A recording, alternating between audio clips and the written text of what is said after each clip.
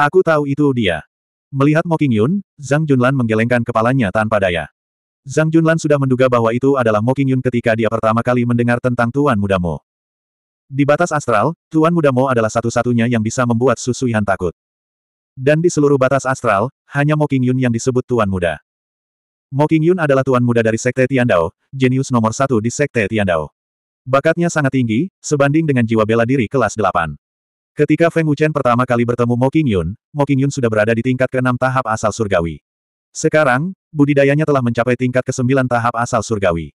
Paman, sepertinya kamu tidak perlu melakukan apa pun. Zhang Junlan merentangkan tangannya dan tersenyum. Apakah kamu tahu identitas Ling Xiao Xiao? Zhang Tianxuan bertanya dengan serius sambil menatap Zhang Junlan. Aku tidak tahu, tapi kekuatan di belakangnya sangat menakutkan, jauh lebih menakutkan daripada istana Raja Ilahi. Kami bertemu Leng Hun dalam perjalanan ini. Dia memanggil ahli alam transformasi ilahi tingkat 4 dan melukai para tetua kedua dari Istana Raja Ilahi. Istana Raja Ilahi, itulah cara kami diselamatkan. Zhang Junlan berkata dengan sungguh-sungguh. Memikirkan kembali kejadian saat itu, dia masih merasa takut. Mendengar ini, hati Zhang Tianxuan bergetar, dan matanya sedikit melebar. Istana Raja Ilahi adalah kekuatan terkuat di benua ini. Dan kekuatan di balik Ling Xiao Xiao bahkan lebih menakutkan daripada Istana Raja Ilahi. Konsep macam apa ini? Paman, Pernahkah kamu mendengar tentang guru prasasti kelas 8, Ao Yuan? Zhang Junlan bertanya. Ao Yuan, Zhang Tianxuan sedikit mengernyit dan menggelengkan kepalanya. Nama ini sangat asing. Kekuatan orang ini sangat menakutkan. Tetua kedua dari Istana Raja Ilahi sebanding dengan alam transformasi ilahi tingkat 6, tetapi dia dikalahkan secara menyedihkan. Selain itu, dia menyebut Ling Xiao Xiao sebagai orang suci. Sepertinya dia hanyalah seorang pelayan, kata Zhang Junlan. Orang suci, pelayan, Zhang Tianxuan bahkan lebih terkejut lagi. Kemudian, dia berkata, sepertinya dia bukan anggota keluarga Yin Yang. Tidak ada orang suci di keluarga itu. Zhang Tianxuan tampaknya memiliki pemahaman yang baik tentang keluarga Yin Yang. Sepertinya dia adalah seseorang dari faksi misterius lainnya. Paman, faksi Ling Xiao Xiao mungkin bahkan lebih menakutkan dari yang kita bayangkan. Ada juga Lan Yue, dia dari ras elf. Aku khawatir dia akan menjadi ancaman bagi guru. Paman, aku harus merepotkanmu untuk kembali dan menyelidikinya. Zhang Junlan mengerutkan kening. Zhang Tianxuan mengangguk dan berkata, kalian harus berhati-hati. Kalian telah memprovokasi Leng Hun. Dia tidak akan melepaskanmu dengan mudah. Jika ada bahaya, kirimi saya pesan. Dengan itu, sosok Zhang Tianxuan menghilang ke udara. Itu pamanku yang sebenarnya. Zhang Junlan tersenyum. Di jalan, Mo Qingyun memandang Feng Wuchen dengan ekspresi kaku. Dia sangat terkejut dan kaget. Tuan muda Mo, mereka sangat arogan. Mereka bahkan tidak memandangmu. Han Zhongshan terus menambahkan bahan bakar ke dalam api. Su Suihan, yang berada di samping, berkata dengan muram, Tuan Muda Mo, tolong tegakkan keadilan bagi kami. Kami tidak bisa membiarkan orang luar ini menjadi begitu sombong. Jika Tuan Muda Mo tidak membunuh mereka, bukankah orang lain akan menertawakannya? Kamu karena takut pada mereka. Setelah mereka berdua selesai berbicara, Mo Qingyun masih belum sadar. Pada saat ini, mereka tidak menyadari keterkejutan dan ketakutan di mata Mo Qingyun. Bukan hanya Mo Qingyun, tiga ahli yang datang bersama Mo Qingyun sudah memandang Feng Wuchen dengan rasa hormat dan ketakutan. Melihat Mo Qingyun tidak bereaksi sama sekali, Su Suihan menatap Han Zhongshan, mengisyaratkan dia untuk menambahkan bahan bakar ke dalam api. Han Zhongshan mengerti dan berkata, Tuan Muda Mo, lihat mulut saya yang bengkak. Bagaimana saya bisa bertemu orang seperti ini? Saya mohon Tuan Muda Mo untuk membunuh mereka dan membantu saya. Tamparan. Namun, sebelum Han Zhongshan selesai berbicara, Mo Qingyun sudah menamparnya dengan keras. Dengan tamparan yang tajam, kekuatan tamparan itu membuat Han Zhongshan terbang beberapa meter. Tamparan tiba-tiba Mo Qingyun mengejutkan Han Zhongshan. Penguasa istana dan tetua istana Ling Yun, tetua lembah seribu, dan banyak penonton terkejut saat melihat pemandangan ini. Apa, apa yang terjadi? Tuan Muda Mo telah memukul orang yang salah, bukan? Tuan Muda Mo benar-benar memukul Han Zhongshan. Ada apa dengan Tuan Muda Mo? Kenapa dia malah menamparkan Han Zhongshan? Semua orang tercengang. Mereka saling memandang, tidak tahu apa yang sedang terjadi.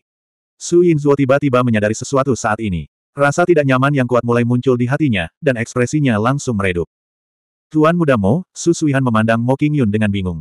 Dia tampak seperti seorang biksu yang sedang kebingungan. Tuan Muda Mo, kamu, kamu memukul orang yang salah, kan? Itu bukan aku, itu mereka. Han Zhongshan bingung dan marah. Kamu tidak tahu apa yang baik untukmu. Saya sudah memperingatkan Anda untuk tidak menyinggung Dendi, tapi Anda tidak mendengarkan. Jangan seret aku ke dalamnya jika kamu ingin mati. Mo Qingyun berkata dengan marah di dalam hatinya. Dia hanya ingin mencabik-cabik Han Zhongshan dan Su Suihan. Mo Qingyun mengabaikan mereka dan bergegas menuju Feng Wuchen. Kemudian, di bawah tatapan kaget semua orang yang hadir, dia menangkupkan tinjunya dan membungkuk kepada Feng Wuchen. Mo Qingyun dari Sekte Dao Surgawi menyapa Dendi. Mo Qingyun membungkuk dengan sangat hormat. Salam, Dendi. Tiga ahli Sekte Dao Surgawi membungkuk dengan hormat. Feng Wuchen mengangguk dan berkata dengan ringan, tidak perlu formalitas. Terima kasih, Dendi. Mo Qingyun menghela nafas lega. Orang lain mungkin tidak mengetahui identitas Feng Wuchen, tetapi bagaimana mungkin Mo Qingyun tidak mengetahuinya. Selama konferensi alkimia alam Rajsi, Feng Wuchen mengejutkan semua orang dengan keterampilan alkimianya yang luar biasa. Prestasinya di bidang alkimia begitu tinggi bahkan Tian Xianzi pun merasa rendah diri. Mengingat kejadian saat itu, menyaksikan para alkemis kuat dari berbagai daerah menundukkan kepala mereka satu demi satu, sungguh menggembirakan. Di depan Feng Wuchen, bahkan Tian Xianzi, yang namanya mengguncang benua, harus menyebut dirinya murid. Kembali ke kota surga Luo, dia telah menyinggung Feng Wuchen karena dia membantu Tuan Muda Sangguan. Mo Qingyun beruntung masih hidup. Sekarang, dia hampir dibunuh oleh Han Zhongshan dan Su Suihan. Mengapa Mo Qingyun membantu mereka? Dan, Dendi, wajah Su Yinzuo dipenuhi ketakutan saat tubuhnya bergetar. Pada akhirnya, dia terjatuh ke tanah, merasa seolah-olah langit telah runtuh. Para tetua istana awan melonjak dan tetua lembah seribu berlutut ketakutan, tidak berani kentut. Sekte Dao Surgawi telah memperingatkan keberadaan Dendi di lembah seribu dan istana awan melonjak, tetapi sekarang sudah terlambat. Dia, dia, Dendi, Han Zhongshan dan Su Suihan sangat ketakutan. Wajah mereka pucat seperti baru saja melihat hantu. Mereka sangat ketakutan. Han Zhongshan akhirnya tahu mengapa Mo Qingyun memukulnya. Dia juga akhirnya tahu keberadaan seperti apa yang telah dia sakiti. Identitas Dendi begitu menakutkan sehingga bahkan keluarga Zhang tidak mampu menyinggung perasaannya, apalagi Sekte Dao Surgawi, Lembah Seribu, dan Istana Awan Melonjak. Pada saat ini, Han Zhongshan dan Su Suihan hanya merasa bahwa mereka telah jatuh ke neraka tingkat 18. Mereka benar-benar putus asa. Para ahli dari keluarga besar dan banyak pembudidaya di Howling Wind City juga ketakutan. Mereka semua menyadari bahwa Feng Wuchen memiliki identitas yang hebat, tetapi mereka tidak mengetahui apa yang diwakili oleh Dendi. Dendi, lepaskan aku. Ini semua salahku karena buta. Aku tidak tahu Dendi ada di sini. Mohon maafkan saya, Dendi. Han Zhongshan buru-buru berlutut dan bersujud untuk memohon belas kasihan. 562. Dendi, bagaimana kamu ingin menghadapinya? Mo Qingyun bertanya dengan hormat setelah mengamati ekspresi Feng Wuchen. Melihat Han Chongshan, Feng Wuchen bertanya dengan dingin, apakah kamu tahu mengapa aku ingin membunuhmu? Han Chongshan tergagap dan tidak dapat berbicara dalam waktu lama. Kamu beritahu aku. Feng Wuchen memandang Su Suihan dengan dingin. Su Suihan juga tidak dapat berbicara. Karena tidak ada di antara kalian yang mau mengatakannya, aku akan melakukannya untukmu. Feng Wuchen berkata dengan dingin, sebagai murid jenius dari lembah seribu dan tuan muda istana dari istana awan melonjak, Aku tidak akan mengatakan bahwa kamu bersedia membantu orang lain, tetapi kamu menindas orang lain dan menganiaya anak-anak. Kamu lebih buruk dari binatang. Itu bukan salahmu. Anda melecehkan anak-anak. Itu sebabnya kamu pantas mati. Feng Wuchen berkata dengan dingin. Dendi, aku tahu aku salah. Seharusnya aku tidak menganiaya anak-anak. Tolong beri aku kesempatan untuk menebus kesalahanku. Aku pasti akan memberikan kompensasi kepada Wang Budi dan yang lainnya. Han Chongshan berkata dengan ngeri. Sangat terlambat. Membunuh mereka. Feng Wuchen berkata dengan dingin. Hewan tidak boleh dibiarkan hidup. Tidak, Dendi, lepaskan kami. Dendi, lepaskan kami. Tolong beri kami kesempatan untuk menebus diri kami sendiri. Jangan bunuh aku. Jangan bunuh aku. Han Chongshan bersujud dan memohon dengan ngeri. Istana awan melonjak bersedia tunduk pada Dendi. Tolong beri kami jalan keluar. Su Yinzuo memohon dengan ngeri. Tuan Mudamo, tolong bantu kami. Han Chongshan memandang Mo Qingyun dengan ngeri. Aku sudah memperingatkanmu, tapi kamu terlalu bodoh. Tuan Istana Su, kamu yang memintanya. Mo Qingyun berkata dengan dingin. Jika Mo Qingyun memohon kepada mereka sekarang, bukan hanya itu tidak mungkin, tapi itu juga kesalahannya sendiri. Mo Qingyun tidak sebodoh itu. Feng Wuchen sudah menganggap Han Chongshan dan yang lainnya sudah mati. Mengapa Mo Qingyun memohon pada mereka? Menyerang, Mo Qingyun berteriak dengan dingin. Ketiga pembangkit tenaga listrik itu pergi tanpa ragu-ragu. Belum lagi perintah Feng Wuchen, bahkan jika itu adalah perintah Mo Qingyun, mereka hanya bisa mematuhinya. Tiga atasan yang dibawa oleh Mo Qingyun semuanya adalah atasan dari alam surga. Bahkan jika Su Yinzuo melawan dengan marah, dia tetap berakhir dengan kematian yang tragis. Dengan mereka bertiga bekerja sama, membunuh Han Zhongshan dan yang lainnya seperti meremukkan seekor semut, tanpa usaha. Dalam waktu kurang dari 30 detik, Han Zhongshan, Su Suihan, dan para tetua dari Tousan Palace dan Soaring Cloud Palace semuanya tewas di jalanan. Su Yinzuo, yang bangkit untuk melawan, akhirnya tidak dapat bertahan lebih dari dua menit sebelum dia meninggal secara tragis di bawah tatapan ngeri semua orang di Wind Cry City. Ini akibat menyinggung Dendi. Seluruh kota Howling Wind sunyi senyap. Nafas setiap orang harus ditekan. Kepanikan menekan hati semua orang. Dendi, apakah kamu ingin menghancurkan istana seribu lembah dan awan melonjak? Mo Qingyun bertanya dengan hormat. Tidak perlu. Aku masih punya urusan penting lain yang harus diselesaikan. Aku serahkan sisanya padamu. Feng Wuchen menggelengkan kepalanya sedikit. Ya, Dendi. Mo Qingyun mengangguk dengan hormat. Zhang Junlan, ayo pergi. Liu Qingyang berteriak di balkon restoran. Tuan Muda Zhang, ekspresi Mo Qingyun dan yang lainnya tiba-tiba berubah. Mereka melihat ke lantai dua restoran. Tuan Muda Sang, semua orang di Wincry City bangun dan melihat ke restoran dengan mata ngeri pada saat yang bersamaan. Sekilas, itu benar-benar Zhang Junlan, tuan muda dari keluarga Zhang. Mereka mungkin tidak mengenal Feng Wuchen, tapi siapa di dunia astral yang tidak mengenal Zhang Junlan? Saat mereka melihat Zhang Junlan, semua orang mulai bersemangat. Sepertinya guru sudah menanganinya. Zhang Junlan tertawa. Ayo kembali ke kuil naga, kata Feng Wuchen ringan. Guru, mendengar bagaimana Zhang Junlan berbicara kepada Feng Wuchen, kerumunan yang bersemangat itu kembali tercengang. Jika tuan muda dari keluarga Zhang harus memanggil Feng Wuchen sebagai guru, lalu seberapa mengerikankah identitas Feng Wuchen sebagai Dendi? Dendi, harap tunggu. Kali ini, Wang Bupiao yang terbangun dari keterkejutannya, berteriak dan berlari menghampiri istri dan anak-anaknya. Terima kasih, Dendi, karena telah menyelamatkan kami. Wang Bupiao menangkupkan tinjunya dan membungkuk. Terima kasih, Dendi. Terima kasih, kakak. Istri Wang Bupiao dan kedua anaknya juga mengucapkan terima kasih. Tidak apa-apa, tidak perlu berterima kasih padaku. Selamat tinggal, Feng Wuchen tersenyum tipis. Dendi, tunggu, Wang Bupiao berbicara lagi. Apakah ada hal lain? Feng Wuchen bertanya. Wang Bupiao mengeluarkan sebuah barang dari cincin penyimpanannya dan menyerahkannya kepada Feng Wuchen. Dia berkata dengan penuh rasa terima kasih, Dendi menyelamatkan kami dan saya, Wang Bupiao, tidak dapat membalas budi Anda. Saya memperoleh harta ini di tempat yang sangat aneh. Saya telah mempelajarinya selama bertahun-tahun tetapi tidak membuahkan hasil. Namun, ia memancarkan aura yang aneh. Mungkin itu adalah bahan pemurnian yang berguna bagi Dendi. Wang Bupiao menyerahkan batu hitam aneh kepada Feng Wuchen. Namun, itu sangat berbeda dari batu biasa. Tidak mungkin untuk mengetahui apa itu. Aura yang aneh. Feng Wuchen sedikit terkejut. Kemudian, dia melihat batu hitam di tangannya dengan aneh. Kakak Feng, apa ini? Liu Qingyang bertanya dengan rasa ingin tahu. Feng Wuchen menggelengkan kepalanya dan berkata, saya tidak tahu apa yang terjadi dalam waktu sesingkat ini. Dendi, suntikan sedikit yuan sejati ke dalam batu ini dan akan mengeluarkan aura yang aneh. Singkatnya, auranya luar biasa, kata Wang Bupiao dengan sungguh-sungguh. Mendengar ini, Feng Wuchen melakukan apa yang diperintahkan. Dia menanamkan jejak yuan sejati ke dalam batu hitam.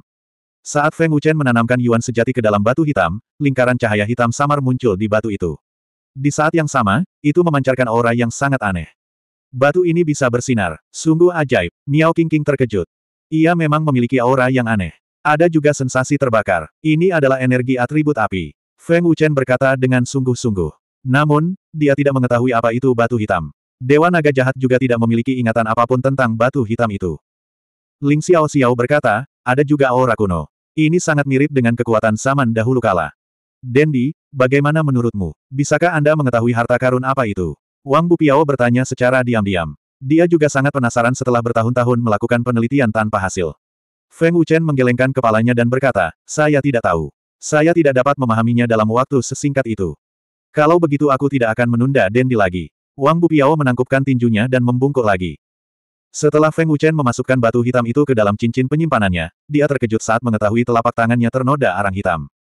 Arang, Feng Wuchen sedikit terkejut. Batu hitam itu jelas pernah terbakar sebelumnya. Dia bertanya-tanya pada dirinya sendiri, api macam apa yang bisa membakar batu sejauh ini.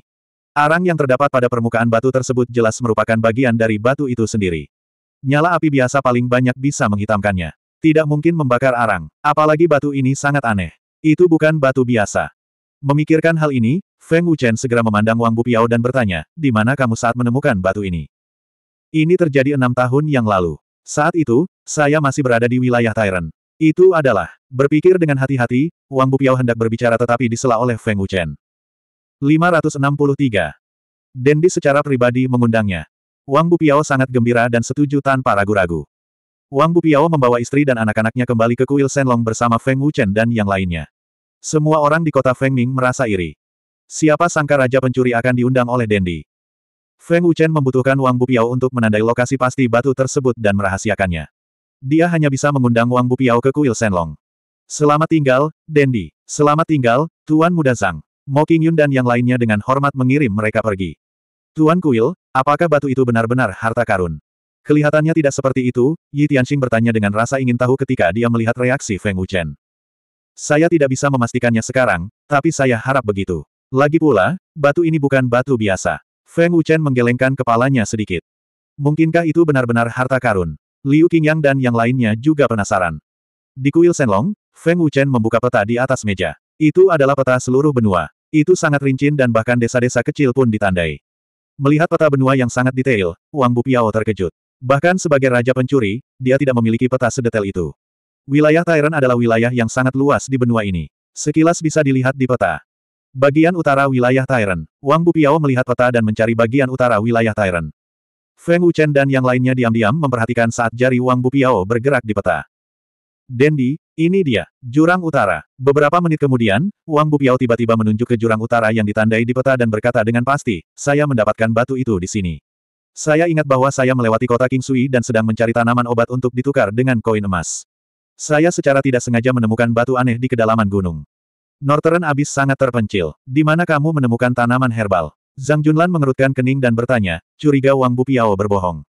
Tuan Muda Zhang, ada sesuatu yang tidak Anda ketahui. Jurang utara memang terpencil dan tidak berpenghuni, tapi ada ramuan obat ajaib di sana, jawab Wang Buguo dengan hormat. Dendi benar, meskipun pil inti bumi api li sangat kuat, tidak banyak master alkimia yang bisa menyempurnakannya. Kata Wang Budi. Efek kehancuran dan rekonstruksi. Liu Qingyang sepertinya tidak mengerti. Artinya, ketika seorang ahli alam surgawi meminum pil ini ketika dia berada di ambang kematian, dia dapat menerobos alam tersebut, Bei Dou Yan menjelaskan. Jadi begitu, pil obat ini mempunyai efek yang sangat kuat, kata Liu Qingyang dengan kaget. Api rembesan tujuh teratai pada dasarnya tidak dapat ditemukan. Terlalu banyak alkemis yang mencari ramuan obat ini. Pada akhirnya, tidak ada seorang pun yang menginjakan kaki di jurang utara. Kalau tidak, Aku tidak akan meninggalkan wilayah tirani dan datanglah ke domain janji untuk mencari nafkah, kata Wang Bupiao tak berdaya. Terima kasih telah memberitahu saya. Feng Wuchen berterima kasih padanya. Kemudian dia mengeluarkan cincin penyimpanan yang telah dia siapkan dan menyerahkannya kepada Wang Budi. Ini adalah tanda kecil penghargaanku. Terimalah. Dendi, ini tidak akan berhasil. Dendi baru saja menyelamatkan kita. Aku tidak berani menerimanya. Wang Budi melambaikan tangannya dan menolak. Ambil saja, bawalah istri dan anakmu untuk menjalani kehidupan yang baik. Jika kamu mengalami kesulitan di masa depan, datanglah ke kuil naga untuk mencari kami. Liu Qingyang memaksa Wang Budi untuk memberikannya. Ini, terima kasih, Dendi. Terima kasih, Dendi. Wang Budi berulang kali mengucapkan terima kasih. Ia tidak berani menolak dan sangat berterima kasih. Setelah mengantar Wang Budi dan keluarganya pergi, Zhang Junlan bertanya, Guru, apakah Anda melihat sesuatu? Harta karun apakah batu hitam itu? Ya, kakak Feng. Saya melihat Anda sangat memedulikannya. Batu hitam itu pasti memiliki latar belakang. Liu Qing yang mengangguk. Semua orang memandang Feng Wuchen dengan rasa ingin tahu. Saat dia membalik tangannya, batu hitam itu muncul di telapak tangannya begitu saja. Feng Wuchen berkata dengan serius, ini bukan batu biasa. Ini sangat keras. Bahkan besi meteorik pun tidak sekeras itu, tapi terbakar menjadi abu. Pernahkah Anda melihat nyala api membakar batu menjadi abu? Saya pernah melihatnya terbakar hitam, tapi saya belum pernah melihatnya terbakar menjadi abu. Semua orang menggelengkan kepala. Batu ini telah terbakar api entah sudah berapa tahun. Telah terbakar menjadi abu dan memiliki aura unsur api. Aura aneh yang dikeluarkan batu tersebut sebenarnya berasal dari api yang membakar batu tersebut. Menjadi sangat menakutkan. Feng Wuchen mengerutkan kening. Api macam apa itu? Ling Xiao bertanya. Setelah hening beberapa saat, Feng Wuchen berkata, kemungkinan besar itu adalah api hitam dari zaman kuno. Dengan aura kuno yang aneh, aku tidak bisa memikirkan api lain selain api hitam. Api hitam. Semua orang bingung dan penasaran. Dark Fire sangat asing bagi mereka.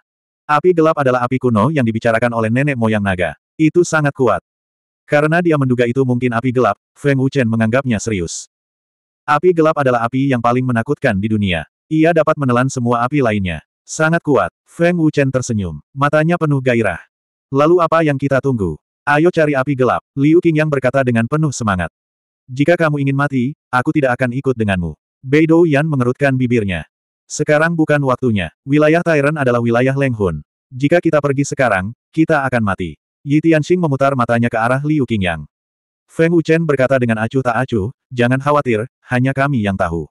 Jangan khawatir api hitam akan dirampas. Sekte kerajaan akan segera dapat menemukan lokasi pasti harta karun itu. Kami akan berkultivasi dalam pengasingan untuk sementara waktu dan menunggu sekte kerajaan menemukan lokasi pasti dari harta karun itu. Kali ini, kami telah mengumpulkan begitu banyak harta sehingga cukup untuk memperkuat kuil naga. Kalian semua memiliki budidaya yang tinggi, terutama King Yang, kamu harus menerobos ke alam surga sesegera mungkin. Kata Feng Wuchen. Liu Qingyang menepuk dadanya dan berkata dengan percaya diri, Kakak Feng, jangan khawatir, aku akan menerobos ke alam surga. Bagikan harta itu kepada saudara-saudara, kata Feng Wuchen. Zhang Junlan dan yang lainnya mengeluarkan semua harta yang telah mereka kumpulkan dari makam. Feng Wuchen pertama-tama menyingkirkan harta langka dan berharga, peralatan abadi, seni abadi, dan beberapa keterampilan bela diri kelas bumi tingkat tinggi. Harta karun lainnya, peralatan roh, dan gulungan kelas bumi semuanya dibagikan. Mengetahui bahwa ada keterampilan bela diri kelas bumi, anggota kuil naga sangat bersemangat. Satu demi satu mereka berteriak keras, dan suaranya bergema di seluruh Gunung Dendi. Saudara-saudara kuil naga semuanya adalah saudara hidup dan mati. Feng Wuchen sangat mempercayai mereka, dan memperkuat kekuatan mereka juga sangat penting. Arai Dewa Pembunuh Alam Semesta sembilan lapisan telah diaktifkan. Para anggota kuil naga memasuki pagoda sembilan kosmos untuk berkultivasi. Feng Wuchen sekarang berada di lantai tujuh pagoda. Feng Wuchen harus menyerap energi pembalasan ilahi sesegera mungkin dan memperkuat kekuatannya sendiri. 564. Tingkat ketujuh dari pagoda sembilan kosmos dipenuhi dengan cahaya keemasan yang menyilaukan. Inilah kekuatan hukuman ilahi. Kekuatan hukuman ilahi dilepaskan dari segel naga emas dan diserap tanpa henti oleh Feng Wuchen. Penyerapan berbeda dengan melahap. Melahap tidak memerlukan penyempurnaan dan disimpan di tempat lain. Penyerapannya berbeda. Penyerapan membutuhkan penyempurnaan. Feng Wuchen mengaktifkan kekuatan penghancur untuk menyerap kekuatan hukuman ilahi. Dia harus menggunakan kekuatan penghancur untuk menyempurnakan kekuatan hukuman ilahi sebelum dia bisa menyerapnya. Meskipun kekuatan hukuman ilahi sangat kejam, ia ditekan sampai batas tertentu dalam menghadapi kekuatan penghancur yang menduduki peringkat ketiga di antara kekuatan kuno. Tidak peduli seberapa kerasnya itu, ia tidak berdaya untuk melawan. Meski begitu, sangat sulit bagi Feng Wuchen untuk menyerapnya. Pertama, kekuatan hukuman ilahi sangat kejam. Menyerapnya akan menyebabkan meridian di tubuh membengkak dan sakit. Namun, peningkatan budidaya sangat mengerikan. Kedua, kekuatan hukuman ilahi terlalu besar. Butuh waktu lama untuk menyerapnya sepenuhnya. Tentu saja waktu tidak menjadi masalah. Tingkat ketujuh dapat memberi Feng Wuchen waktu dua kali lipat. Selain itu, Feng Wuchen juga menggunakan teknik pemisahan roh, menggunakan 12 roh primordial untuk menyerap dan memurnikan pada saat yang bersamaan. Hasilnya, kecepatannya pun berkali-kali lipat lebih cepat. Hanya dalam beberapa menit, di bawah pemurnian yang gila-gilaan, tubuh Feng Wuchen telah membengkak seperti bola karet. Kekuatan yang sangat besar, Feng Wuchen mengertakkan gigi dan berkata dengan wajah penuh kesakitan. Teknik Dewa Naga tertinggi beredar dengan cepat, dan Feng Wuchen mulai menyerapnya dengan gila-gilaan. Dalam waktu kurang dari dua jam, Feng Wuchen sudah merasakan bahwa kultivasinya mengalami peningkatan yang nyata. Kecepatannya sangat cepat seperti duduk di atas roket. Kekuatan hukuman ilahi benar-benar memberiku banyak kejutan. Dengan kekuatan sebesar itu, menerobos ke alam manusia langit tingkat keempat jelas bukan masalah, kata Feng Wuchen bersemangat sambil menyerap dengan gila-gilaan, tidak mampu menekan ekstasi di hatinya. Jika ada seseorang di tingkat ketujuh saat ini, mereka pasti akan terkejut dengan kecepatan kultivasi Feng Wuchen yang mengerikan. Kekuatan pemusnahan dunia juga telah tumbuh jauh lebih kuat. Jika itu benar-benar seperti yang dikatakan leluhur naga, menyerap sepuluh kekuatan kuno dapat melahirkan kekuatan yang lebih kuat, sungguh tak terbayangkan. Feng Wuchen berkata dengan penuh semangat. Kekuatan pemusnahan dunia dan kekuatan hukuman ilahi sudah merupakan keberadaan yang menakutkan. Orang hanya bisa membayangkan betapa mengerikannya kekuatan penciptaan ilahi yang nomor satu itu. Adapun kekuatan yang bahkan lebih menakutkan daripada kekuatan ilahi penciptaan, siapa yang dapat membayangkannya? Waktu berlalu, dan dalam sekejap mata, setengah bulan telah berlalu. Budidaya Feng Wuchen telah meningkat pesat, dan laut kinya sudah setengah terisi dengan esensi sejati. Dengan kecepatan yang begitu mengerikan, dalam waktu setengah bulan lagi, terobosan Feng Wuchen ke tingkat ketiga dari tingkat surga akan segera tiba. Namun, bahkan setelah setengah bulan berlalu, energi hukuman ilahi di lantai tujuh masih sangat menakutkan. Tampaknya tidak melemah sama sekali. Bukan karena kekuatan retribusi ketuhanan tidak melemah. Hanya saja aura kekuatan pembalasan ketuhanan terlalu menakutkan, dan ruang di lantai tujuh relatif kecil. Itulah mengapa ilusi seperti itu muncul. Setengah bulan telah berlalu di tingkat ketujuh, tetapi hanya tujuh hari telah berlalu di dunia luar. Dari sini, terlihat betapa menakutkannya kecepatan pemurnian Feng Wuchen. Dalam sekejap mata, setengah bulan telah berlalu. Dalam waktu sebulan penuh, Feng Wuchen berhasil menembus ke tingkat ketiga dari tingkat surga. Baru setengah bulan telah berlalu di dunia luar. Artinya, hanya dalam waktu setengah bulan, Feng Wuchen berhasil menembus satu level. Kecepatan kultivasi yang mengerikan membuat orang lain terpuruk. Selain Feng Wuchen, Ling Xiaoxiao dan yang lainnya, di bawah bantuan energi murni harta karun langit dan bumi, peningkatan kultivasi mereka juga sangat mencengangkan. Harta karun langit dan bumi memiliki energi yang sangat murni yang dapat langsung diserap tanpa dimurnikan. Oleh karena itu, kecepatan peningkatan kultivasi Ling Xiaoxiao dan yang lainnya tidak lebih lambat dari Feng Wuchen. Meskipun baru setengah bulan berlalu, Miao Qingqing berhasil menembus tingkat pertama tingkat surga. Miao Qingqing yang menerobos ke tingkat surga, kekuatan tempurnya benar-benar sangat kejam. Cukup banyak saudara yang terjebak dalam kemacetan telah berhasil menerobos kemacetan tersebut dengan bantuan harta karun langit dan bumi serta pil obat. Kekuatan keseluruhan kuil Dewa Naga berkembang pesat. Kuil Dewa Naga yang terpencil bisa dikatakan membuat banyak penggarap merasa sangat bingung dan aneh. Ke mana perginya begitu banyak orang? Jika mereka semua berkultivasi secara tertutup, tidak diragukan lagi ini adalah kesempatan terbaik untuk menyerang. Namun, arai dewa pembunuh alam semesta sembilan tingkat bukan untuk hiasan. Setelah pertempuran itu, pasukan kelas 2 dan 3 itu benar-benar tidak berani menyentuh kuil Dewa Naga. Saat kekuatan kuil Dewa Naga tumbuh dari hari ke hari, kekuatan kelas 2 dan 3 itu tidak berani memprovokasi lebih jauh lagi.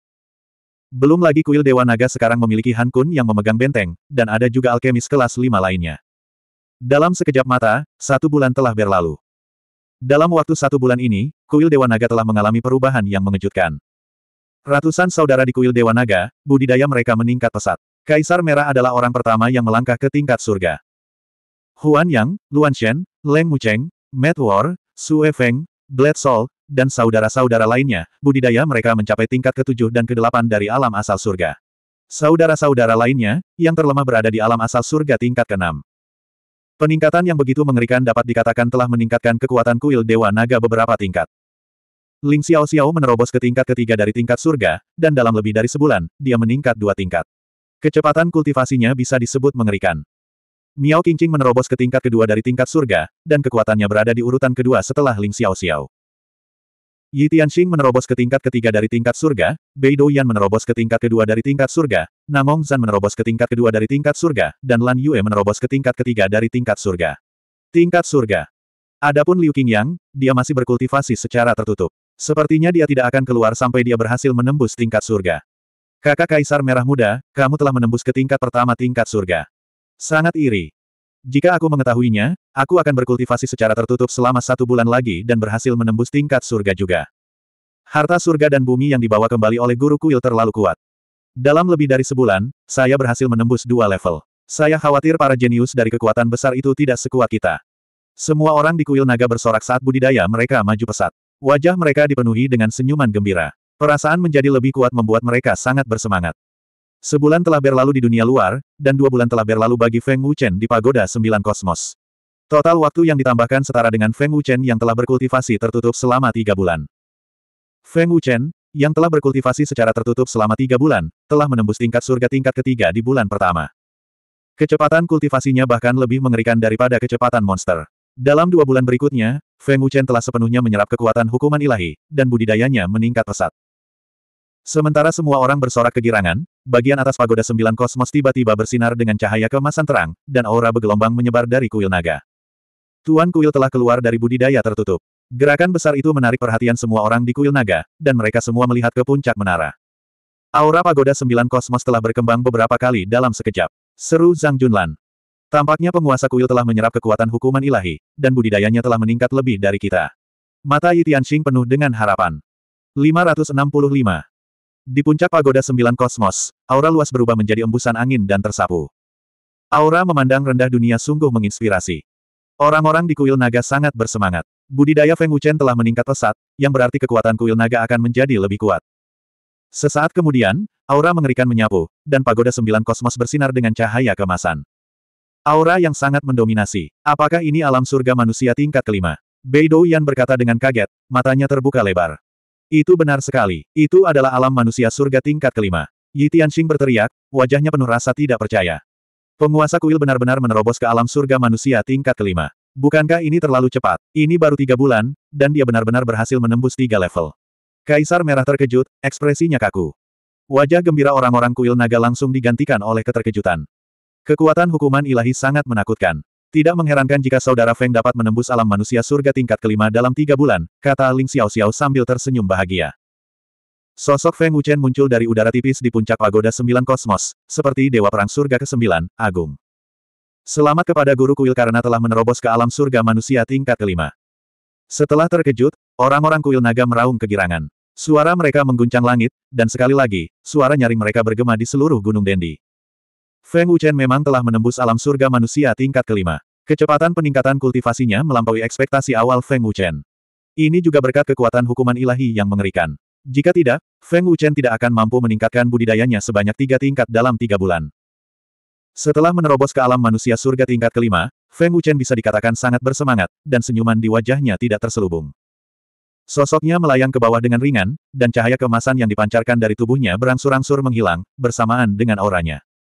Tuan Kuil, apakah kekuatan hukuman ilahi telah diserap sepenuhnya? Namong Zan adalah orang pertama yang bertanya. Dia masih tidak percaya bahwa Feng Wuchen sudah berada di alam surga manusia tingkat kelima. Feng Wuchen mengangguk dan berkata sambil tersenyum, ya, Anda bahkan lebih kuat dari yang saya bayangkan. Kultivasi Anda meningkat tiga tingkat. Kekuatan hukuman ketuhanan sangat menakutkan. Yi Tianxing masih sok. Ini bukan hanya karena kekuatan hukuman Tuhan. Jika itu adalah orang lain, mereka tidak akan bisa mengasimilasinya. Lebih penting lagi, ini karena kekuatan Master Aula. Apoteker Han Kun tersenyum penuh hormat. Tuan, kemampuan ilahi macam apa yang dimiliki oleh pasukan pembalasan ilahi ini? Lan Yue bertanya dengan rasa ingin tahu. Biarpun itu adalah kekuatan kuno, pastinya memiliki keunikan tersendiri. Pertanyaan Lan Yue bisa dikatakan telah membangkitkan rasa penasaran semua orang. Banyak pasang mata penasaran memandang ke arah Feng Wuchen. Yah, Feng Wuchen terdiam sejenak, lalu mengulurkan tangannya dan berkata, aku juga tidak tahu. Balasan Feng Wuchen hampir membuat semua orang terjatuh. Feng Wuchen tidak punya waktu untuk memahami kekuatan hukuman Tuhan dari saat dia melahapnya hingga saat dia menyerapnya. Kaisar Merah, apakah ada yang terjadi di kuil naga ilahi baru-baru ini? Feng Wuchen memandang Kaisar Merah dan bertanya. Aku baru saja keluar dari pengasingan beberapa hari yang lalu, tapi apoteker Han Kun mengatakan bahwa kuil naga ilahi dalam keadaan damai. Kaisar Merah menjawab dengan hormat. Han Kun kemudian berkata, sebenarnya, tidak banyak. Selama konferensi alkimia, Ketua kuil memberitahu para apoteker bahwa mereka bisa datang ke kuil naga ilahi jika mereka memiliki masalah. Dalam sebulan terakhir, banyak apoteker yang datang, tapi aku telah memecahkan masalah mereka untuk mereka. Karena itu masalahnya, ayo bersiap-siap. Kita akan pergi ke wilayah barat. Feng Wuchen mengangguk sedikit dan tersenyum. Apakah sekte kerajaan telah menemukan lokasi harta karun itu? Beidou Yan bertanya. Feng Wuchen tersenyum dan berkata, mereka menemukan lokasi spesifiknya beberapa hari yang lalu. Mereka telah masuk. Melalui kekuatan pemusnahan dunia saya, saya dapat merasakan aura kuno. Kakak Feng, kakak Liu belum keluar dari pengasingan. Miao Qingqing berkata dengan cepat. Tidak perlu menunggu dia. Biarkan dia berkultivasi dengan baik dan menerobos ke alam surga. Jika dia menerobos ke alam surga, dia mungkin bisa merasakan kekuatan misterius di tubuhnya. Beri dia waktu. Feng Wuchen menggelengkan kepalanya. Setelah jeda, Feng Wuchen melanjutkan, lokasi harta karun itu berada di gurun pasir. Gurun tersebut mengandung energi atribut api yang sangat kuat. Oleh karena itu, perjalanan ke gurun ini akan sangat bermanfaat bagi mereka yang mengembangkan atribut api. Tuan Kuil, saya memiliki atribut api. Saya akan pergi. Saya harus menerobos ke alam surga dalam perjalanan ini. Huan Yang yang pertama berbicara. Dia penuh percaya diri. Saya juga, sabar jiwa berteriak. Tidak perlu membicarakan aku. Zhang Junlan merentangkan tangannya. Tuan Kuil, meskipun kita tidak memiliki atribut api, gurun dapat melemahkan tubuh kita. Huo Ming berkata dengan penuh semangat. Perburuan harta karun pertama Feng Wuchen telah membawa kembali sejumlah besar harta karun, yang membangkitkan rasa ingin tahu semua orang. Semua orang merespons satu demi satu. Bahkan mereka yang tidak memiliki atribut api berteriak bahwa mereka ingin pergi. Namun, dia tidak bisa membawa terlalu banyak orang. Feng Wuchen hanya memilih selusin orang. Ling Xiao Xiao, Zhang Junlan, Huan Yang, Sabre Sol, Luan Shen, Leng Mucheng, Namong Zan, Huo Ming, Sue Feng, Kuang Zan, Duan Tianfeng, dan Nizong. Yi Tianxing, Bei Douyan, dan Lan Yue tinggal di kuil naga untuk berkultivasi. Aku akan memberimu waktu setengah jam untuk bersiap. Aku akan pergi ke pelelangan untuk membeli beberapa kristal tempa. Feng Wuchen berkata dengan ringan. Saat dia berbicara, sosoknya telah terbang ke langit dan menghilang dalam sekejap mata. Pedang Dewa Naga tertinggi hanya berada di tingkat kedua. Jika Feng Wuchen ingin meningkatkan kekuatan tempurnya, dia harus meningkatkan kualitas pedang Dewa Naga. Namun, tidak lama setelah Feng Wuchen pergi, kuil naga menyambut seorang tamu. Kamu Tian Wei. Bei Yan menatap langit dengan heran. Tamu tersebut adalah murid tertua dari Sekte Senwu, Ye Tian Wei. Alam surga tingkat 6. Dia menerobos. Yi Tianxing mengerutkan kening, diam-diam dia terkejut. Ling Xiao Xiao memuji dengan lembut, seperti yang diharapkan dari orang jenius nomor satu di wilayah barat. Apakah Dendi ada di sini? Ye Tian Wei bertanya. Kepala kuil baru saja pergi ke pelelangan. Mengapa kamu mencarinya? Kaisar Merah bertanya. Kaisar Merah dan yang lainnya tidak mengenal Ye Tianwei. Ini adalah pertama kalinya mereka bertemu. Sebuah tantangan. Ye Tianwei berkata dengan ringan. Sosoknya perlahan turun ke alun-alun kuil naga. Kalau begitu kamu harus menunggu sebentar. Kepala kuil tidak akan kembali secepat ini. Tolong, kata Huan Yang. Dia dengan sopan mengundang Ye Tianwei ke kuil. Ye Tianwei, kamu terlambat. Miao Qingqing menggelengkan kepalanya. Saya bisa menunggu, kata Ye Tianwei. Miao Qingqing menggelengkan kepalanya lagi, saya tidak membicarakan hal itu. Saya sedang berbicara tentang terobosan kakak Feng. Jika Anda datang sekarang, Anda tidak memiliki peluang untuk menang.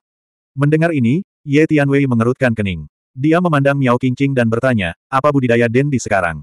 Alam surga tingkat 5, Miao Qingqing melontarkan kata demi kata, seolah dia ingin menakuti Ye Tianwei. Tentu saja. Mendengar kata-kata Miao Qingqing, Ye Tianwei tiba-tiba berdiri karena terkejut. Matanya melebar dan wajahnya dipenuhi keterkejutan dan ketidakpercayaan. 566. Lelang Astral. Dendi mengundangmu masuk. Ketika Feng Wuchen tiba, pengurus pelelangan segera menerimanya dengan hormat. Dendi, tolong ikuti saya. Saya akan lapor ke presiden dan sesepuh. Pramugara tersenyum dengan hormat. Tidak perlu mengganggu mereka. Aku akan pergi setelah membeli beberapa barang. Kamu bisa menjalankan urusanmu. Jangan khawatirkan aku. Feng Wuchen berkata dengan sopan. Dia sangat santai dan tidak bersikap sombong. Ya, pramugara mundur dengan hormat. Seorang pelayan maju untuk menerimanya dan membungkuk hormat. Dendi. Pergi dan siapkan beberapa kristal tempa untukku. Semakin tua semakin baik. Kristal tempa yang tidak lebih rendah dari peringkat enam. Juga, cari pandai besi untuk menyiapkannya untukku. Feng Wuchen berkata dengan acuh tak acuh. Bawakan juga aku beberapa ramuan di daftar ini. Feng Wuchen menyerahkan daftar itu kepada pelayannya. Ada banyak tumbuhan yang terdaftar di sana. Baik, Dendi, mohon tunggu sebentar. Pelayan itu mundur dengan hormat. Seluruh lelang astral mengetahui identitas Feng Wuchen. Mereka juga tahu bahwa tetua kedua, Ni Feng Yun, adalah murid Feng Wuchen. Tidak ada yang berani bersikap tidak sopan. Ketika Feng Wuchen sedang menunggu, aula lelang tiba-tiba menjadi berisik. Seorang pria gemuk memasuki ruang lelang. Dia adalah orang besar, yang beratnya beberapa ratus pon. Dengan setiap langkah yang diambilnya, daging di tubuhnya akan bergulung dengan keras. Saat dia tersenyum, matanya menjadi garis. Melihat pria gendut seperti itu, Feng Wuchen tidak bisa menahan diri untuk tidak melihat lagi. Feng Wuchen belum pernah melihat pria gendut seperti itu seumur hidupnya. Pria gendut itu memasuki aula. Sekelompok orang mengikuti di belakangnya. Mereka mengangguk dan membungkuk. Mereka bahkan dengan hormat memanggilnya sebagai Tuan Muda Jin. Tuan Muda Jin, kamu sudah lama tidak ke sini. Aku sangat merindukanmu. Tuan Muda Jin, harta apa yang ingin Anda beli di sini? Selama itu adalah harta yang disukai Tuan Muda ini, saya akan membeli semuanya. Tuan Muda Jin, berat badanmu turun. Oh, apakah begitu? Haha, itu bagus untuk menurunkan berat badan. Pria gendut itu tampak senang, tampak seperti putra mahkota yang tinggi dan perkasa. Nama pria gendut itu adalah Jin Buhuan. Dia mengenakan jubah mewah. Dia hanya berada di tingkat keempat tahap asal langit, namun dia memiliki latar belakang yang kuat. Dia adalah tuan muda klan Jin, sebuah keluarga bisnis di batas astral. Keluarga Jin tidak kuat, tapi mereka sangat kaya. Mereka jelas merupakan keluarga terkaya di dunia astral. Meski mereka tidak terlalu kuat, mereka bisa hidup berdampingan dengan damai selama bertahun-tahun. Itu karena bisnis keluarga Jin terhubung dengan banyak kekuatan besar. Semua kekuasaan yang melakukan bisnis terkait dengan keluarga Jin, termasuk rumah lelang. Siapa yang tidak ingin dikaitkan dengan keluarga kaya? Jika Anda berhasil menyenangkan buhuan emas, dia bisa mengubah Anda dari bebek jelek menjadi angsa hanya dengan satu kata.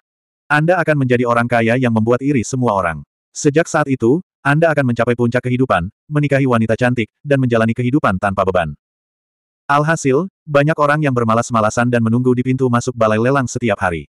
Setiap kali mereka melihat emas tidak dapat diubah, itu berarti kesempatan mereka untuk mencapai puncak kehidupan mereka telah tiba. Tuan Muda Jin, hati-hati dengan pintunya. Hati-hati dengan ambang batasnya. Seseorang berkata dengan hormat, bertingkah seperti pelayan. Tuan Muda Jin, silakan duduk. Anda mau minum apa? Katakan saja. Seseorang menepuk kursi itu dengan penuh hormat. Ketika buhuan emas tiba, semua penggarap di aula berkumpul di sekelilingnya. Bahkan ada banyak wanita cantik di antara mereka. Keluarga Jin memiliki uang dan kekuasaan. Siapa yang tidak ingin menikah dengan keluarga Jin dan menjadi simpanan muda mereka?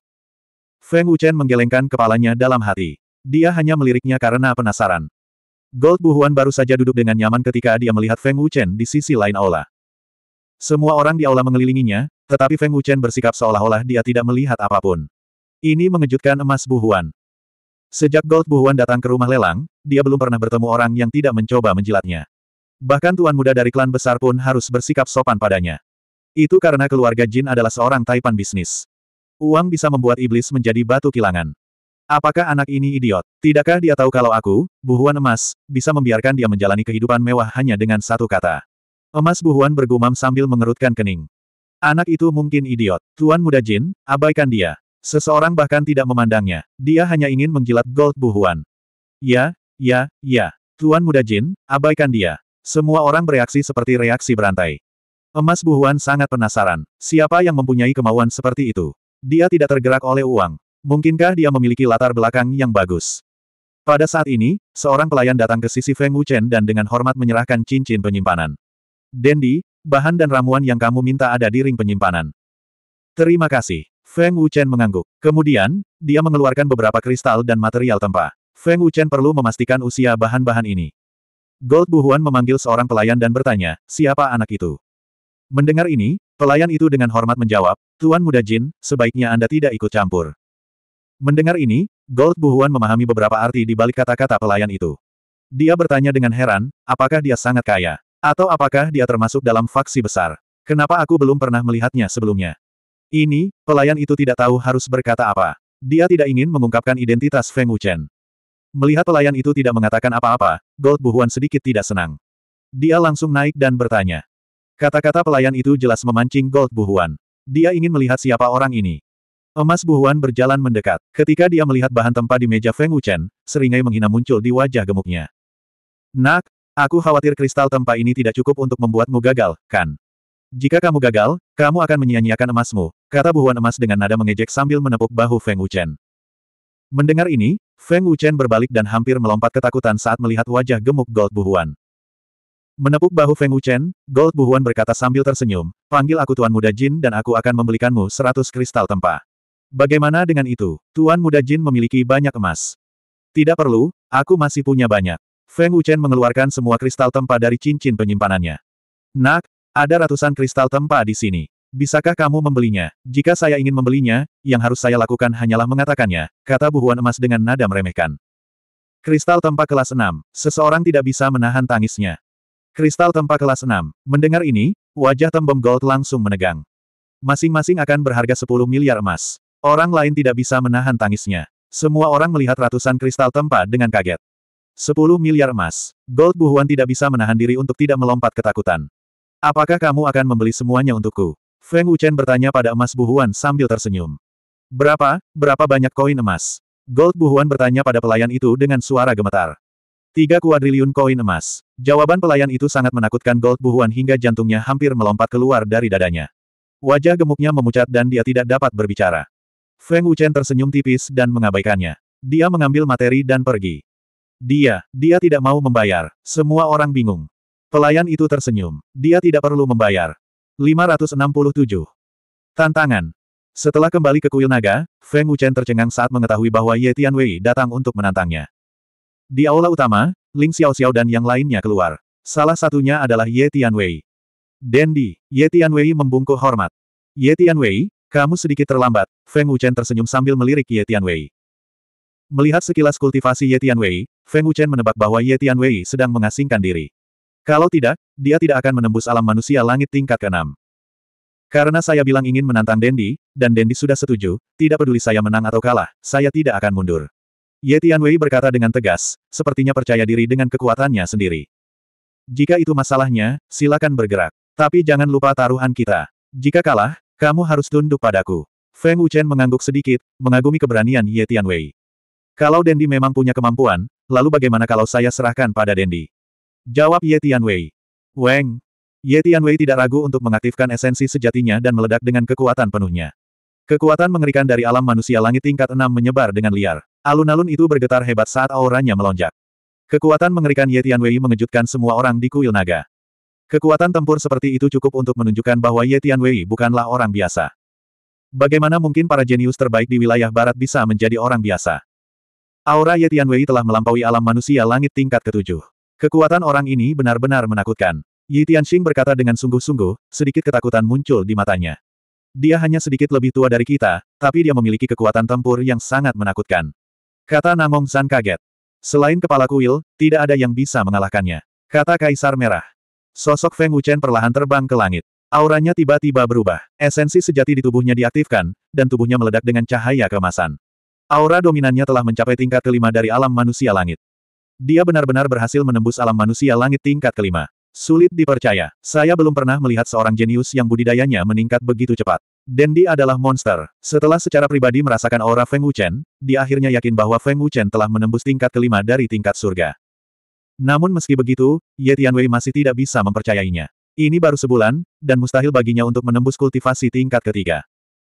Belum lagi seniman bela diri tingkat surga, bahkan seniman bela diri tingkat asal surga pun tidak akan mampu melakukannya. Melepaskan sarung tangan artefak roh bermutu tinggi, aura Feng Wuchen meroket lagi, mendekati tingkat keenam dari tingkat surga. Armor Kilin. Feng Wuchen berteriak pelan dan memanggil perlengkapan perangnya. Auranya melonjak sekali lagi, langsung menembus tingkat keenam dari tingkat surga.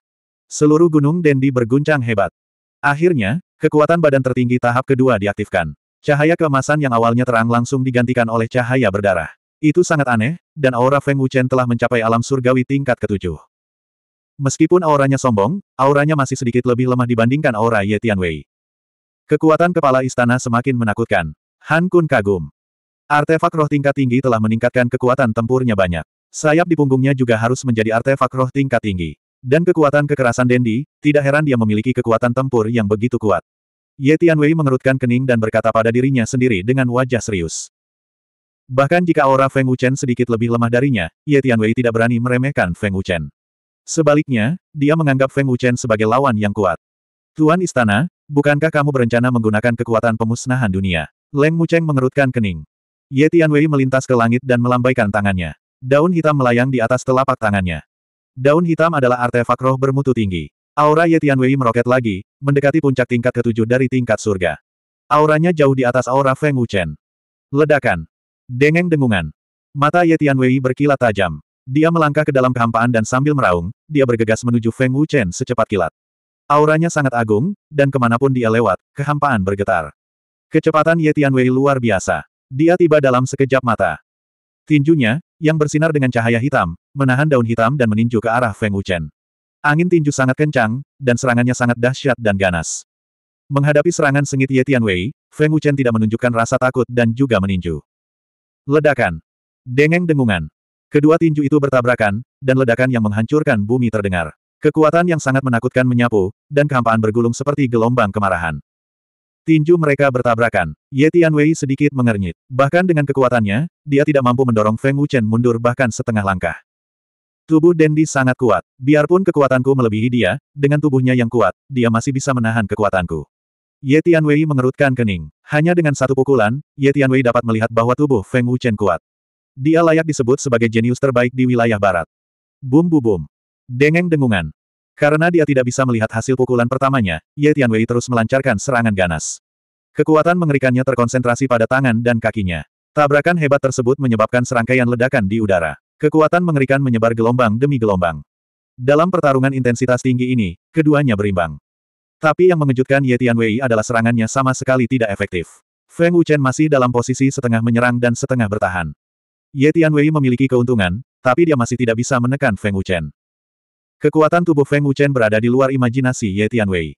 Teknik bela diri kelas mistik tingkat tinggi. Tinju pertarungan surga. Ye Tianwei meraung dan meninju dengan ganas saat kekuatan kekerasan mengembun dalam sekejap. Kekuatan pukulan ini cukup untuk menghancurkan gunung yang menjulang tinggi. Telapak tangan kemarahan surga ketiga. Feng Wuchen tidak mau kalah. Sambil mengaum, dia menghadapi serangan itu dengan telapak tangan. Ledakan. Dengeng dengungan. Tinju dan telapak tangan bertabrakan, dan suara keras bergema di seluruh Gunung Dendi. Riak energi destruktif menyapu dengan dahsyat, dan pegunungan di sekitarnya berguncang. Keduanya didorong mundur oleh kekuatan mereka sendiri.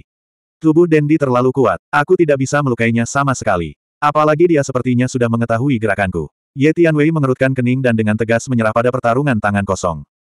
Seni sepuluh ribu daun. Ye Tianwei meraung dan melambaikan tangannya. Sehelai daun hitam beterbangan, dan dalam sekejap, puluhan daun hitam terduplikasi. Setiap daun dipenuhi dengan kekuatan yang menakutkan. Desir-desir-desir.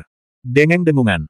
Ye Tianwei melambaikan tangannya lagi, dan lusinan daun hitam keluar pada saat bersamaan. Dengan suara yang memekakan telinga, mereka seperti kilat hitam. Ye Tianwei bisa mengendalikan mereka. Bei Dou Yan mengerutkan kening. Kekuatan yang luar biasa, kata daun surgawi biduk dengan kaget. Ding ding ding.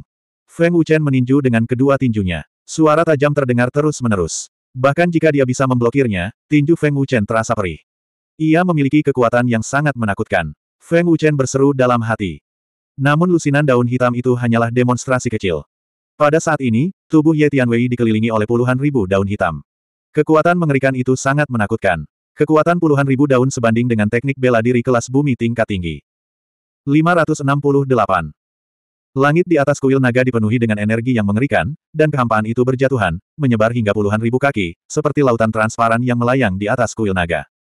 Ini adalah keterampilan bela diri Ye Tianwei yang paling menakutkan, kartu trufnya. Ye Tianwei mengandalkan keterampilan bela diri ini untuk menjadi terkenal di wilayah barat, mengalahkan jenius yang tak terhitung jumlahnya untuk mendapatkan kualifikasi untuk sejajar dengan Master Sekte Muda dari Sekte Senwu dan menjadi salah satu jenius terbaik di wilayah barat. Tabrakan langsung sebelumnya sama sekali tidak mampu menekan Feng Wuchen. Bahkan jika dia menggunakan keterampilan bela diri, dia tidak dapat melukai Feng Wuchen. Oleh karena itu, daripada menyia-nyiakan True Essence, lebih baik langsung saja. Dalam situasi di mana dia tidak memiliki kekuatan untuk menekan Feng Wuchen, Ye Tianwei memilih untuk menggunakan keterampilan bela diri terkuatnya di kondisi puncaknya, yang tidak diragukan lagi merupakan langkah yang bijaksana. Jika dia menggunakannya setelah terluka, kekuatannya akan sangat berkurang. Keterampilan bela diri apa ini? Ia sebenarnya memiliki kekuatan yang sangat menakutkan. Orang ini sungguh tidak sederhana. Dengan kekuatan tempurnya, dia bisa bersaing dengan seniman bela diri alam manusia langit tingkat delapan. Aku belum pernah melihat keterampilan bela diri yang begitu unik, dan itu digunakan bersama dengan daun kecilnya. Sungguh ajaib. Semua orang di kuil naga terkejut dan tidak bisa menahan diri untuk tidak berseru, dengan sedikit kengerian di mata mereka. Bahkan Ling Xiao Xiao yang berpengalaman dan berpengetahuan luas belum pernah melihat keterampilan bela diri yang begitu unik. Senjata rohnya sedikit berbeda. Daun yang dipadatkan tadi sepertinya merupakan tiruan dari senjata roh, sepertinya terkondensasi dari energi, padahal sebenarnya tidak. Feng Wuchen mengerutkan kening dan berpikir sendiri. Menghadapi kartu truf seperti Ye Tianwei, Feng Wuchen tidak berani meremehkannya. Dendi, ini ilmu bela diriku yang paling kuat. Di antara lawan yang saya temui, tidak ada yang mampu memblokir mantra sepuluh ribu daun saya. Ye Tianwei memandang Feng Wuchen dan berkata, saya sangat terkejut bahwa Anda memiliki keterampilan bela diri yang unik, dan kekuatannya sebanding dengan keterampilan bela diri tingkat bumi tingkat tinggi. Feng Wuchen berkata dengan acuh tak acuh. Dia mengulurkan tangan dan meraihnya, dan pedang Dewa Naga muncul dari udara tipis. Saat pedang Dewa Naga muncul, aura Feng Wuchen melonjak dengan cepat. Dendi, ambil ini. Ye Tianwei berteriak dingin dan segera melambaikan tangannya. Wus! Berdengung. Puluhan ribu daun hitam beterbangan di udara. Jumlahnya sangat besar hingga menyilaukan, seperti hujan meteor hitam. Ledakan sonik yang sangat kuat mengguncang semua orang di kuil Dewa Naga hingga mereka harus menutup telinga. Selain itu, karena energinya terlalu menakutkan, retakan kecil pun terkoyak di kehampaan. Ada lebih dari sepuluh ribu di antaranya, dan masing-masing berisi kekuatan yang sangat besar. Jika mereka menyerang kuil Dewa Naga, ratusan orang dari kuil Dewa Naga mungkin akan terbunuh dalam sekejap. Melihat dedaunan hitam pekat, semua orang di kuil naga gemetar ketakutan. Kekuatan tempur Ye Tianwei terlalu menakutkan. Feng Wuchen menyalurkan seluruh energinya ke pedang naga ilahi. Cahaya berdarah membubung ke langit, dan niat pedang tirani menyebar dengan gila-gilaan. Bahkan tanpa menggunakan kekuatan pemusnahan dunia, kekuatan Feng Wuchen sama menakutkannya. Seni pedang pemadam jiwa, basmi jiwa dan tangislah hantu dan dewa. Feng Wuchen mengerutkan alisnya dan meraung dengan keras. Aura dominannya melonjak seolah-olah tidak ada batasannya. Kemudian, dia memegang pedang Dewa Naga erat-erat dengan kedua tangannya dan menyapukannya. Gerakannya anggun dan bersih. Desir. Berdengung, berdengung. Cahaya merah darah meledak dari ujung pedang dan langsung berubah menjadi cahaya pedang besar berwarna merah darah. Auranya melonjak, dan menakjubkan. Kekosongan itu sepertinya diselimuti oleh cahaya berdarah. Keterampilan bela diri tingkat bumi tingkat tinggi. Ini sebenarnya memiliki aura yang menakjubkan. Hati Ye Tianwei bergetar saat detak jantungnya semakin cepat. Dia melihat cahaya pedang berwarna merah darah dengan sangat ketakutan. Ding, ding, ding. Berdengung, berdengung. Puluhan ribu daun hitam yang menakutkan bertabrakan dengan cahaya pedang, tapi mereka tidak bisa mengguncang cahaya pedang sama sekali. Ke mana pun cahaya pedang lewat, puluhan ribu daun hitam tidak dapat menghentikannya dan semuanya terlempar. Ini, bagaimana ini mungkin, Ye Tianwei sangat ketakutan. Dia tidak percaya bahwa keterampilan bela diri yang dia banggakan begitu rentan di depan seni pedang Feng Wuchen. Seni sepuluh ribu daun sebanding dengan keterampilan bela diri tingkat bumi tingkat tinggi, dan kekuatannya benar-benar menakutkan. Seni pedang Dendi, mungkinkah, Ye Tianwei yang ketakutan sepertinya telah menebak sesuatu, dan ketakutan di wajahnya meningkat. Cahaya pedang merah darah yang sombong membawa kekuatan yang tak terhentikan dan membuat sepuluh ribu daun Ye Tianwei terbang. Mustahil, mustahil. Ye Tianwei menggelengkan kepalanya dengan bingung. Ye Tianwei, cepat menghindar. Melihat Ye Tianwei linglung, Ye Tianxing buru-buru berteriak. Dia terpesona oleh seni surgawi kepala istana. Beidou Yan mengerutkan kening. Ye Tianwei adalah seorang jenius terbaik di wilayah barat. Dia telah berlatih selama bertahun-tahun, dan ketahanan psikologisnya tidak terlalu buruk. Ye Tianwei tertegun sejenak, dan kemudian dia sadar. Perlindungan esensi sejati. Keterampilan bela diri tingkat gelap tingkat tinggi. Perisai gelap lima elemen. Ye Tianwei dengan gila-gilaan mengedarkan esensi sejatinya, memadatkan perisai energi dan perisai pertahanan. Gemuruh. Puff. Cahaya pedang berwarna merah darah yang sangat menakutkan tiba dalam sekejap. Di depan cahaya pedang berwarna merah darah, Ye Tianwei seperti semut. Kemudian, dengan ledakan, perisai energi dan perisai pertahanan langsung hancur. Ye Tianwei memuntahkan seteguk darah di tempat, dan langsung tertelan oleh ledakan. Kekuatan Dendi sangat menakutkan. Ye Tianwei terkejut. Bahkan jika dia tidak mau, dia telah kalah. Sebagai seorang jenius terbaik di wilayah barat, Ye Tianwei telah mengalahkan banyak jenius tanpa satu kekalahan pun. Dia hanya kalah dari Feng Wuchen, dan itu adalah kekalahan telak. Berdengung, berdengung. Retakan besar seperti jaring laba-laba muncul di tengah ledakan, dan riak energi yang sangat menakutkan menyapu dengan liar ke segala arah, menyebabkan ruangan bergetar hebat. Istana kuil naga yang besar dan megah juga bergetar hebat, dan semua orang dalam keadaan gemetar. Untungnya, mereka jauh dari langit, jika tidak, kuil naga tidak akan mampu menahan kekuatan mengerikan seperti itu. Setelah beberapa saat, Ye Tianwei terbang keluar dari ledakan, lukanya sangat serius, dan tubuhnya terjatuh. Kekuatan cahaya pedang bisa dikatakan hampir membunuh Ye Tianwei. Kaisar Merah, berikan dia pil peremajaan hebat penggabungan darah. Feng Wuchen buru-buru berkata. Ya, Kaisar Merah menyala dan kembali dalam sekejap. Seperti yang diharapkan dari kepala kuil, kekuatannya benar-benar menakutkan. Keterampilan bela diri Ye Tianwei dipatahkan oleh cahaya pedang. Jika itu orang lain, mereka tidak akan bisa memblokir keterampilan bela diri Ye Tianwei. Semua orang di kuil naga sangat senang dan terkejut. Mereka bersemangat karena Feng Wuchen telah mengalahkan Ye Tianwei, dan terkejut karena keterampilan bela diri Ye Tianwei yang menakutkan. Ada niat membunuh. Feng Wuchen hendak turun ketika dia tiba-tiba merasakan niat membunuh yang kuat. Dia tiba-tiba menoleh untuk melihat ke langit yang jauh. Semuanya hati-hati, ada musuh yang kuat. Teriak Ling Xiao. Alam manusia langit tingkat delapan. Yi Tianxing mengerutkan kening dalam-dalam. Duan Mo. Di kejauhan, sesosok tubuh terbang seperti kilat. Feng Wuchen melihat dari jauh dan melihat sosok yang dikenalnya. Orang itu tidak lain adalah Duan Mo dari Sekte Matahari Suci dari Alam Laut Meraj, jenius nomor satu di Alam Laut Meraj. 569. Itu Duan Moling. Itu dia, dia benar-benar menghantui kita. Dia masih berani datang setelah dikalahkan oleh penguasa kuil. Yi Tianxing dan yang lainnya terkejut. Mereka tidak menyangka orang tersebut adalah orang jenius nomor satu di alam laut Fata Morgana, Duan Moling. Auranya sepertinya tidak beres. Dia tidak begitu kejam di alam laut Fata Morgana. Apakah ada sesuatu yang memicunya? Miao Qingqing mengerutkan kening. Suara mendesing. Dalam sekejap mata, Duan Moling melintas. Aura mengerikannya menyelimuti seluruh kuil naga. Tubuh Duan Moling diselimuti aura pembunuh yang mengerikan. Wajahnya garang, dan pembuluh darahnya menonjol. Dia seperti singa yang marah, menatap Feng Wuchen dengan ganas.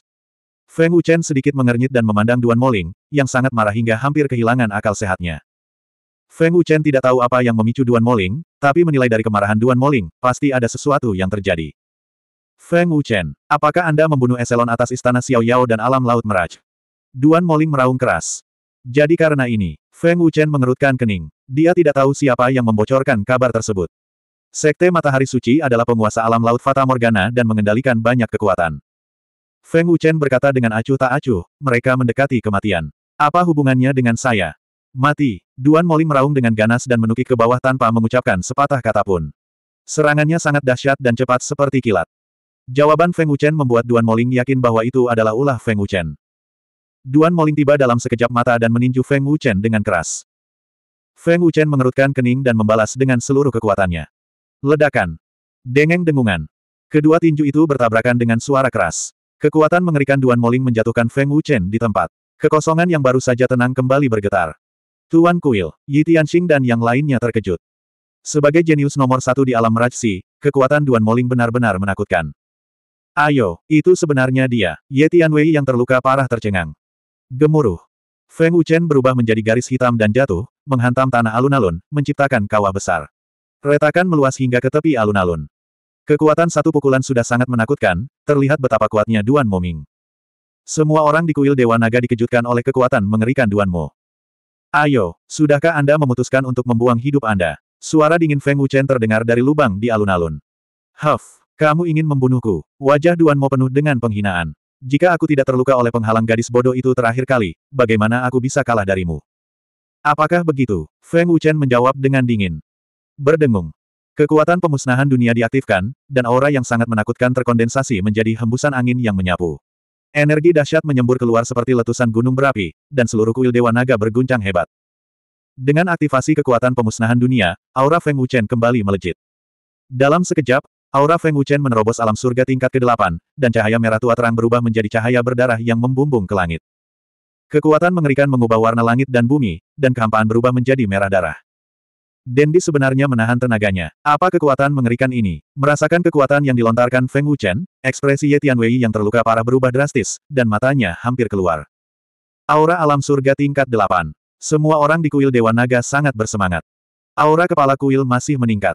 Setelah menyerap kekuatan hukuman Tuhan, kekuatan pemusnahan dunia guru kuil menjadi lebih menakutkan, kata Yi Tianxing dengan kaget, wajahnya sedikit pucat. Duan Mo, yang berada tinggi di langit, juga terkejut, menatap Feng Wuchen dengan bingung. Setelah tidak melihatnya selama lebih dari sebulan, kultivasi Feng Wuchen telah meningkat tiga tingkat, dan dia bahkan meletus dengan kekuatan alam surga tingkat ke-8. Desir. Detik berikutnya, sosok Feng Wuchen melintas dan muncul tinggi di langit, menatap Duan Mo dengan tatapan dingin dan mematikan. Desir. Ledakan. Sosok Feng Wuchen menghilang dalam sekejap, dan kemudian terjadi ledakan. Duan Mo terbang seperti bola meriam, dan kekuatan yang mendominasi dan menakutkan membuat Duan Mo merasakan sakit yang luar biasa. Apa? Duan Mo terkejut, dia tidak melihat kapan Feng Wuchen bergerak. Kecepatan Feng Wuchen terlalu cepat. Tidak mungkin untuk mencegahnya. Karena kamu ingin mengadili kematian, aku akan memenuhi keinginanmu hari ini. Feng Wuchen berkata dengan dingin, tanpa emosi manusia. Desir-desir-desir. Bum-bum-bum. Teleportasi terus-menerus, Feng Wuchen melancarkan serangan gila dalam kemarahan, dan serangkaian serangan meledak ke tubuh Duan Mo, dan yang terakhir tidak dapat menahannya. Orang-orang kuil Dewa Naga di bawah hanya melihat Duan Mo terbang berkeliling, dan tidak tahu dari mana serangan Feng Wuchen berasal. Duan Mo, yang awalnya menakjubkan, berubah menjadi kucing sakit dalam beberapa detik. Bagaimana ini mungkin? Ye Tianwei gemetar, tidak percaya bahwa kekuatan tempur Feng Wuchen begitu menakutkan. Dalam keadaan marah, kekuatan Duan Mo sebanding dengan alam surga tingkat 9, tetapi sekarang di depan Feng Wuchen, dia tidak mampu melawan. Budidaya Feng Wuchen telah meroket, dan kecepatan serta fleksibilitas teleportasinya meningkat pesat. Ah! Dengeng dengungan. Duan Mo yang marah, setelah menahan serangkaian serangan sengit Feng Wuchen, tiba-tiba meraung, dan kekuatan yang sangat kejam menyapu dengan ganas, dan Feng Wuchen, yang berada di tengah-tengah serangan, terlempar. Feng Wuchen, apakah hanya itu yang kamu punya? Duan Mo meraung dengan ganas, aura pembunuhnya menjadi semakin menakutkan. Rentetan serangan Feng Wuchen barusan hanya menyebabkan luka ringan pada Duan Mo. Kekuatan Duan Mo sebanding dengan alam surga tingkat 9, jadi tidak mudah bagi Feng Wuchen untuk melukainya secara serius. Lebih dari itu, Feng Wuchen berteriak dingin, dan sayap di punggungnya bergetar saat dia berlari keluar lagi dengan gila-gilaan. Tubuhnya berubah menjadi petir berwarna darah, dan serangannya bahkan lebih ganas dari sebelumnya. Datang, Duan memeraung, niat bertarungnya tinggi. Kekuatan sombong terkondensasi di tinjunya, dan cahaya merah tua terang meledak. Dengan pukulan ini, Feng Wuchen sepertinya ingin melubangi Duan Mo. Tinju Dewa Naga Abadi. Saat dia mendekat, Feng Wuchen meraung dengan keras, dan pukulan ganas tanpa ampun meledak ke arah Duan Mo. Keterampilan bela diri tingkat bumi tingkat rendah. Telapak tangan pemisah langit bintang tujuh. Duan Mo mengumpulkan semua kekuatan di tubuhnya, dan dengan raungan, dia meledakkan telapak tangannya. Kekuatannya sangat mengerikan, dan seolah-olah dia bisa menutupi langit dengan satu tangan.